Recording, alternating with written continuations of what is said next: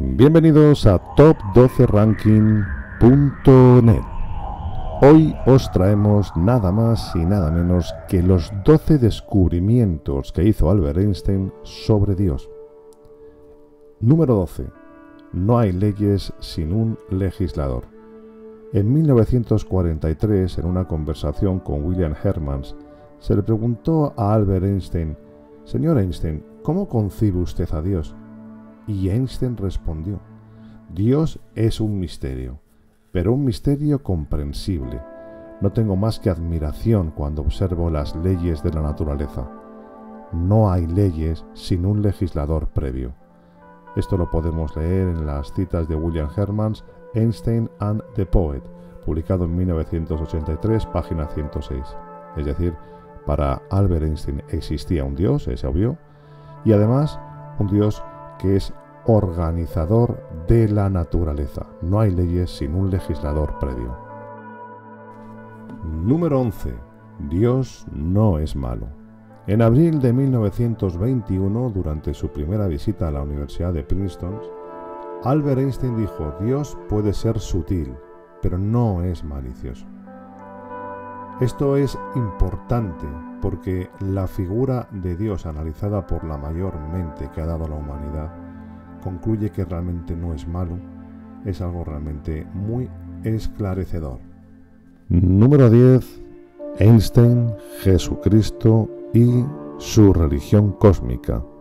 Einstein también se refirió a su sistema de creencias espirituales como una religión de carácter cósmico, cuya inspiración se originaba en muchos de los salmos de David, poesía religiosa hebrea y en algunos de los profetas de la Biblia hebrea, como podemos leer en el New York Times Magazine del 9 de noviembre de 1930. ¿Y qué opinaba Einstein de Jesús? En una entrevista de 1929 con George Bierek en la revista Saturday Evening Podemos leer ¿En qué medida fue usted influido por el cristianismo, señor Einstein? Contestación de Einstein. Cuando era niño recibí instrucción de la Biblia y también del Talmud. Soy judío, pero estoy fascinado por la figura luminosa del Nazareno. ¿Ha leído el libro de Emil Ludwig acerca de Jesús, señor Einstein? El Jesús de Ludwig es poco profundo. Jesús es demasiado colosal para la pluma de los que venden palabras, por muy artísticas que sean esas palabras. Señor Einstein, ¿acepta usted la existencia histórica de Jesús? Incuestionablemente. Nadie puede leer los Evangelios sin sentir la verdadera presencia de Jesús. Su personalidad palpita en cada palabra. No hay ningún mito tan lleno de tanta vida. Qué diferente, por ejemplo, es la impresión que recibimos por cuenta de héroes legendarios de la antigüedad como Teseo y otros héroes, pero que no tienen la vitalidad auténtica que tiene Jesús. Ludwig Lewenson es uno de sus últimos libros. Afirma que muchos de los dichos de Jesús parafrasean las palabras de otros profetas. ¿Qué tiene que decir sobre esto, señor Einstein?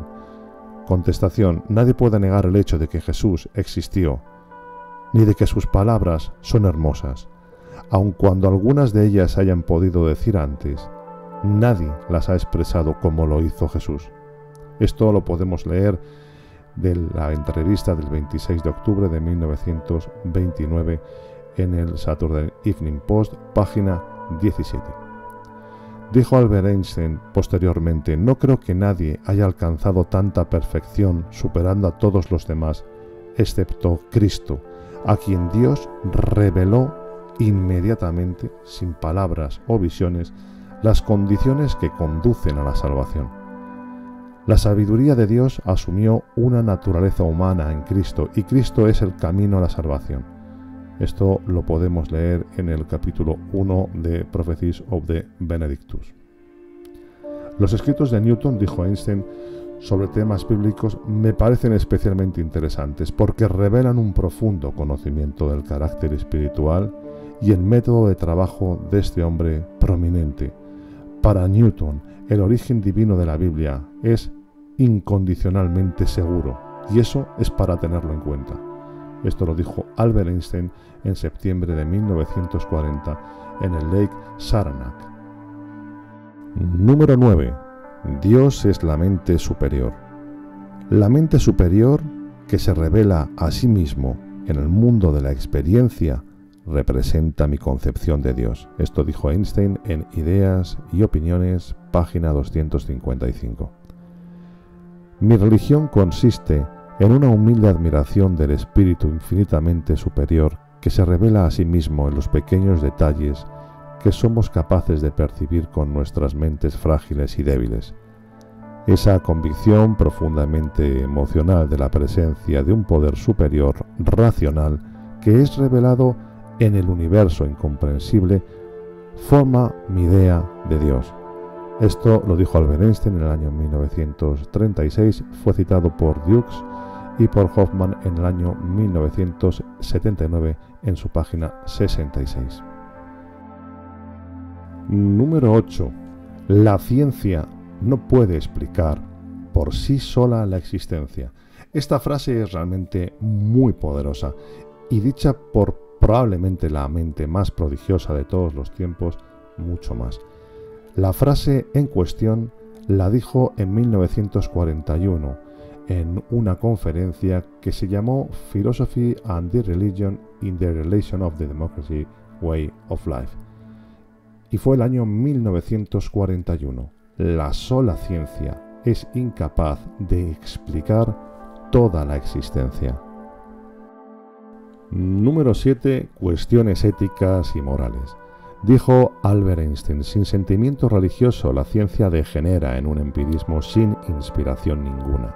Esto lo dijo Einstein en su carta a Maurice Solovin el 1 de enero de 1951. Todos los textos y bibliografías, así como las citas, las dejaremos en la página web top12ranking.net para que la podáis ojear. Continuó diciendo Albert Einstein, debemos tener cuidado de no hacer del intelecto nuestro Dios. Tiene por supuesto músculos poderosos, pero sin personalidad. No puede conducir, solo puede servir. Esta característica se refleja en la calidad de sus sacerdotes, los intelectuales. Él es ciego a los fines y valores, y esta ceguera pasa del viejo al joven y hoy afecta a toda una generación.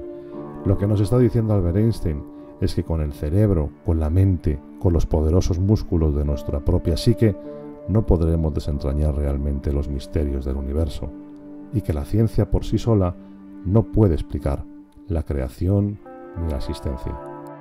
Número 6. El mundo espiritual. Las leyes básicas del universo son simples, dijo Einstein pero nuestros sentidos son muy limitados y no pueden captarlas. Hay un patrón en la creación. Esto es una cita de 1930, Hermann Einstein, Poet in Search of the Cosmic Man, 1983, página 10. Dijo Albert Einstein, en su visión no era correcto generalizar sobre los dominios como realidades excluyentes, sino que dijo, la creación puede ser de origen espiritual pero eso no quiere decir que todo lo creado sea espiritual. La naturaleza no es ni exclusivamente material ni exclusivamente espiritual. El hombre también es más que carne y huesos. Solo una cosa hay que recordar. No hay efecto sin causa y no hay carencia de leyes en la creación. Esto lo podemos leer en Einstein 1930, Hertzmann, William 1983, página 59. De acuerdo al físico, este entendimiento es lo que permitió el descubrimiento, por ejemplo, del modelo copernicano. La materia es real para mis sentidos, pero estos no son dignos de mi confianza. Si Galileo o Copérnico hubieran aceptado lo que veían, no habrían descubierto el movimiento de la Tierra y de los planetas. Si yo no tuviera una fe absoluta en la armonía de la creación, no llevaría 30 años tratando de expresarla en una fórmula matemática. Esto lo podemos leer en Einstein cita 1943, Cosmic Man 1983-61. Es decir, la creación no puede ser exclusivamente explicada por leyes físicas. Número 5. La parábola de la biblioteca. En una entrevista publicada en 1930 en el libro Eclipses on the Great Einstein, el historiador Bierek recoge que le preguntó a Albert Einstein si creía en Dios, a lo cual Einstein respondió comparando a Dios con una biblioteca universal. No soy ateo, dijo, y no pienso que pueda decir que soy panteísta. El problema en cuestión es demasiado vasto para nuestras mentes limitadas. ¿No puedo responder con una parábola? La mente humana, no importa cuán altamente capacitada esté, no puede comprender el universo. Estamos en la posición de un niño pequeño entrando en una enorme biblioteca, cuyas paredes están cubiertas hasta el techo de libros, en muchos idiomas diferentes. El niño sabe que alguien ha debido de escribir esos libros. No sabe quién, no sabe cómo, no entiende los idiomas en los que está escrito, pero el niño sí observa un plan definido en la organización de esos libros. Observa un orden misterioso, el cual no puede comprender, pero existe ese orden. Un orden misterioso que no entiende, pero apenas sospecha sutilmente. Esa, me parece, es la actitud de la mente humana, incluso de la más grande y la más culta. Vemos un universo maravillosamente organizado, obedeciendo ciertas leyes, pero solo entendemos las leyes vagamente. Nuestras mentes limitadas no pueden escrutar la fuerza misteriosa que balancea las constelaciones. Esto lo dijo Albert Einstein en Life and Universe for the Water Isaacson, página 386. En una carta escrita por Einstein en 1949, Green Davis, ingeniero de radares, le contaba que hay dimensiones más allá de lo que percibimos con los cinco sentidos. Y pruebas hay abundantes, como las abejas sienten el campo magnético en su abdomen.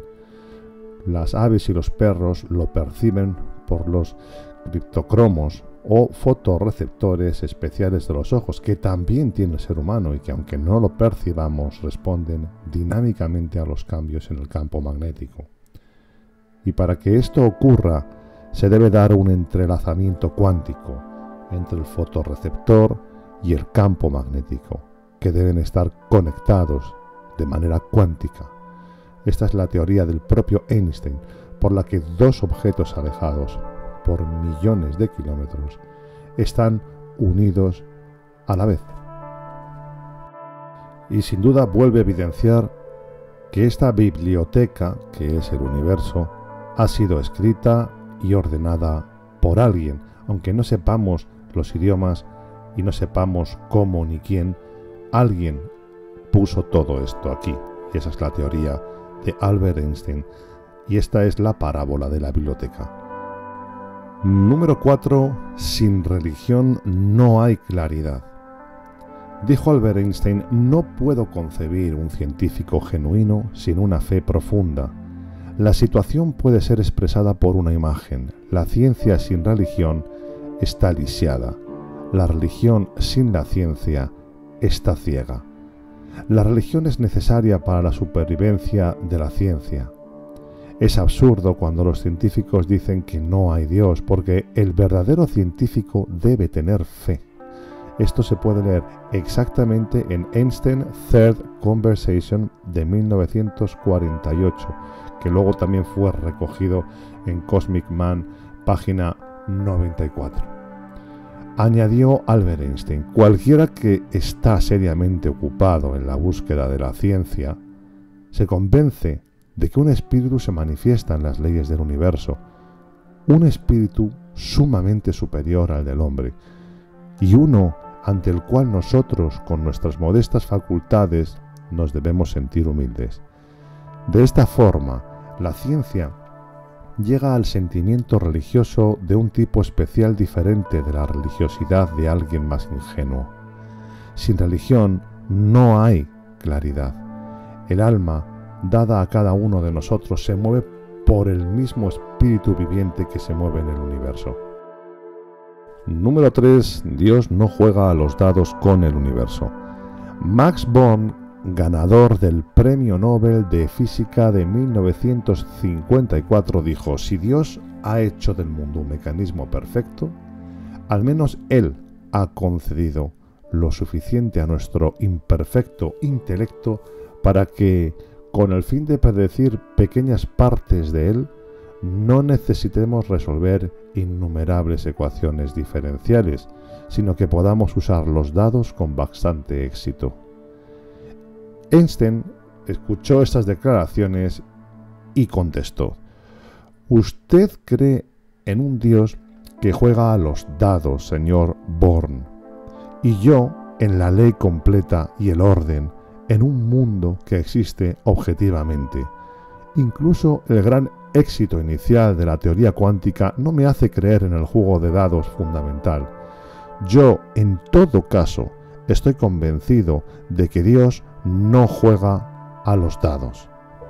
Esto fue dicho en su carta del 4 de diciembre de 1926 enviada a Max Born, en el que Einstein hace su famoso comentario sobre la mecánica cuántica y sobre su convencimiento absoluto de la existencia de Dios.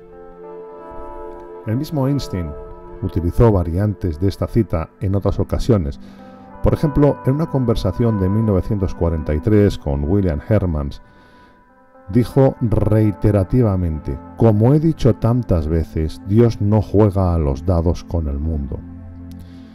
Añadió, quiero saber cómo Dios creó este mundo. No estoy interesado en este o en aquel fenómeno, ni en el espectro de este o aquel elemento. Quiero conocer sus pensamientos. El resto son detalles sin especial importancia. Lo que realmente me interesa, dijo Einstein, es si Dios podría haber hecho del mundo una cosa diferente. Es decir, si la necesidad de simplicidad lógica deja la más mínima libertad. Número 2 el Dios de Spinoza. Creo en el Dios de Spinoza, que se revela a sí mismo en la armonía de las leyes del mundo, no en un Dios que se preocupa por el destino y las acciones de la humanidad. Esto lo dijo el 24 de abril de 1929 en respuesta a la pregunta de Herbert Goldstein, ¿cree usted en Dios? Eso está recogido en el New York Times del 25 de abril de 1929. El Dios que Spinoza veneraba es mi Dios. Me encuentro con Él todos los días en las leyes armónicas que rigen el universo. Mi Dios me habla a través de leyes. Decía Albert Einstein, nosotros los seguidores de Spinoza vemos a nuestro Dios en el orden maravilloso y en las leyes que todo lo que existe y su alma se revela en el hombre y en los animales. Es una cuestión diferente si la creencia en un Dios personal debe ser impugnada. Freud apoyó este punto de vista en su última publicación.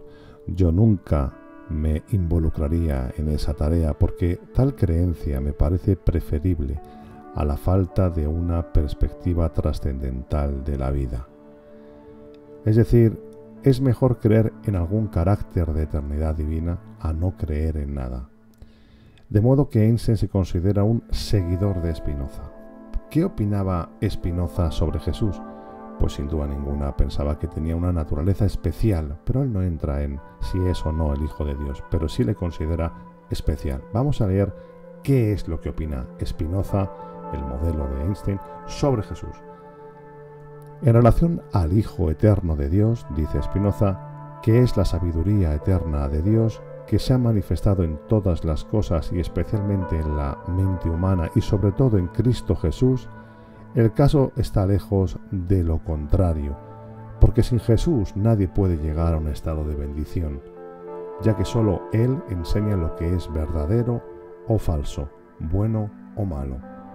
Y puesto que esta sabiduría se hizo manifiesta especialmente a través de Jesucristo, como ya he dicho, sus discípulos la predicaron en la medida en que fue revelado a ellos por medio de él. Y así demostraron que podían regocijarse en el Espíritu de Cristo más que en el resto de la humanidad. Y número uno, Einstein contra los ateos. Bien, Einstein era un auténtico activista antiateos. En esta frase queda bastante claro. En vista de tal armonía en el cosmos que yo, con mi mente humana limitada, soy capaz de reconocer, aún hay gente que dice que no hay Dios. Pero lo que realmente me hace enojar es que me citan a mí para apoyar sus puntos de vista ateos.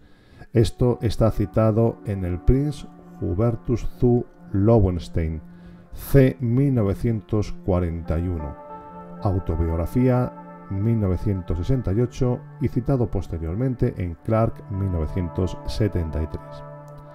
Añadió Albert Einstein, es absurdo cuando algunos científicos dicen que no hay Dios.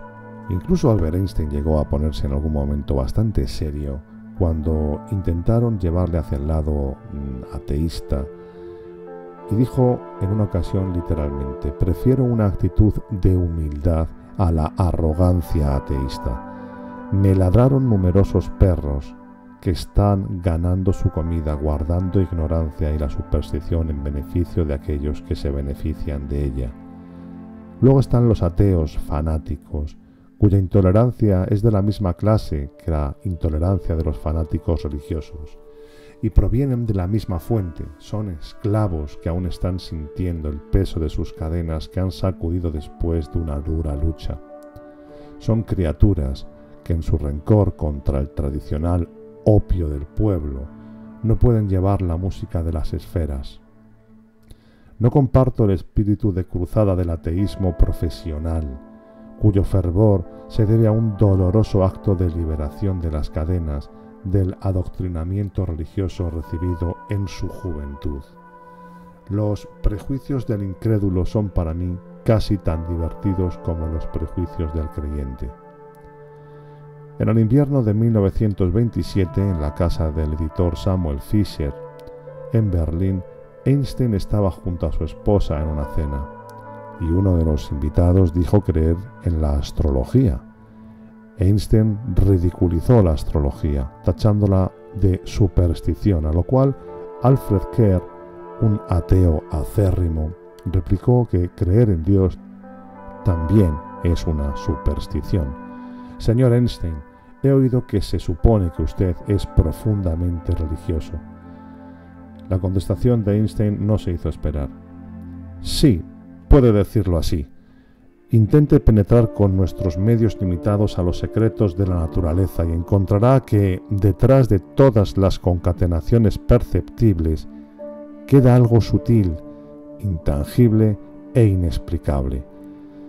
La veneración a esta fuerza que está más allá de lo que podemos comprender, esa es mi religión. En ese sentido soy de hecho muy religioso. Creo en el Dios de Spinoza Así finalizó aquella intervención, con la idea de un Einstein profundamente religioso, pero basado en un Dios que es el de Spinoza. Y hasta aquí el vídeo de hoy. Esperamos que te haya gustado y si ha sido así, por favor suscríbete y comparte. Ya sabéis que esto nos ayuda mucho para poder continuar.